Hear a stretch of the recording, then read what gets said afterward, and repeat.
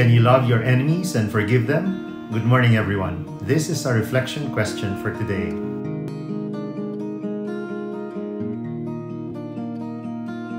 In his autobiography, The Story of My Experiments with Truth, Mahatma Gandhi mentions the Sermon on the Mount as one of the main religious works that inspired him to search for ways of bringing about political freedom for India by non-violent resistance to oppression.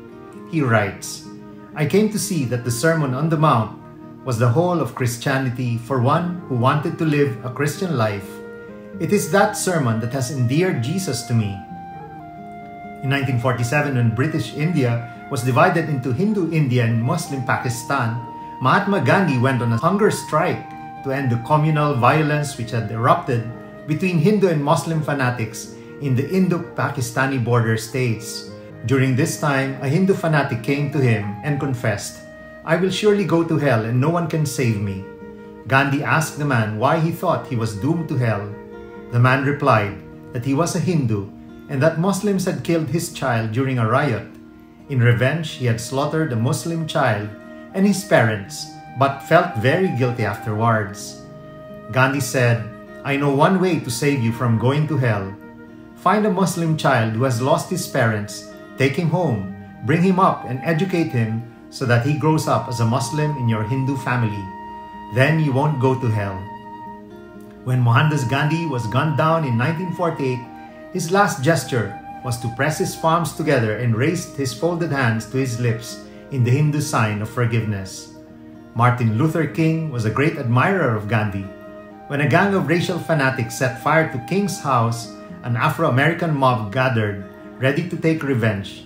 But he told them, When you live by the rule of an eye for an eye, a tooth for a tooth, you end up with a nation of blind and toothless people. Then he led the gathering in prayer for the white brothers who had burned his house. Today's readings from the first to the Gospel itself provide us with a reflection on the extraordinary grace that we need to love our enemies, do good to those who hate us, to bless those who curse us, to give our other cheek when we are slapped, to give the rest of our clothes from someone who steals our tunic. For it is quite impossible and simply not human to not respond in a retaliatory fashion when we have been aggrieved.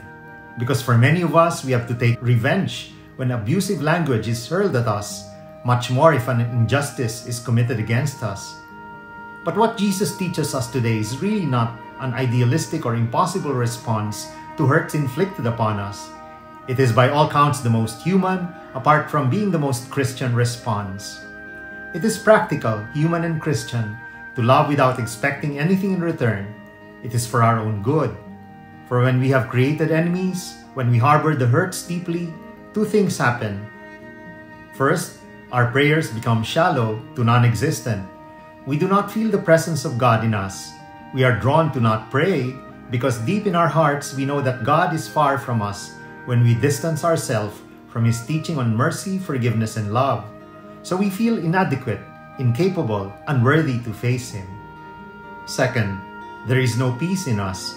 We are filled with so much hatred that in our waking hours and perhaps in our dreams, nay, nightmares, the face of the person we hate bothers us to the point that our health suffers, our decision making is affected, our attitude becomes distorted. For indeed, how can the Spirit of Christ be in us when the spirit of hatred consumes us? But when we pray for the well being of the one who has hurt us, when we pray for our heart to understand that person more, when we pray that we may forgive that person who has violated us, the Holy Spirit washes away the bitterness and resentment and purifies our heart to accept, welcome, forgive, and love that supposed enemy of ours. Our attitude for the evil done is not expunged when we have forgiven.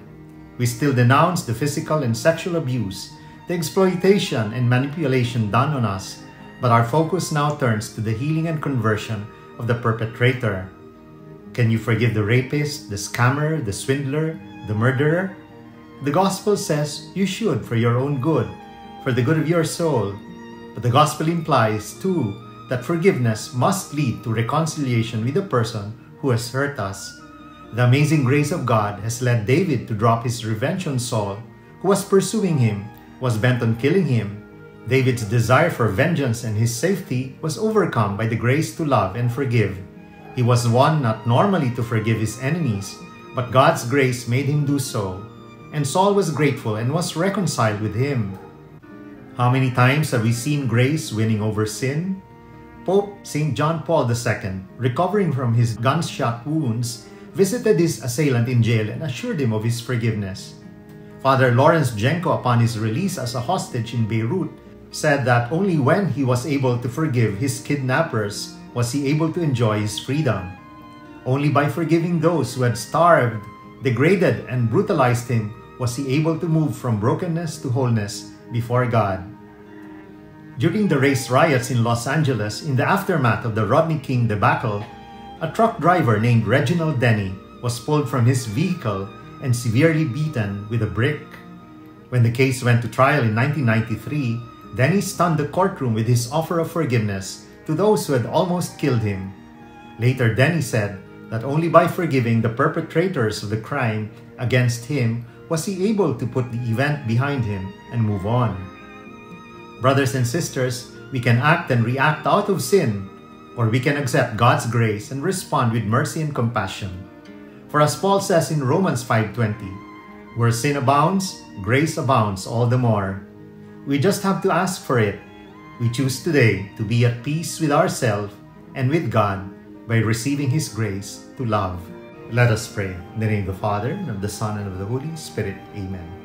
Heavenly Father, fill my heart with your amazing grace so that I may learn to love and forgive and be at peace. This I pray in Jesus' holy and mighty name. Amen. In the name of the Father, and of the Son, and of the Holy Spirit. Amen. God bless your families, brothers and sisters. God bless our Catholic faith and couples for Christ.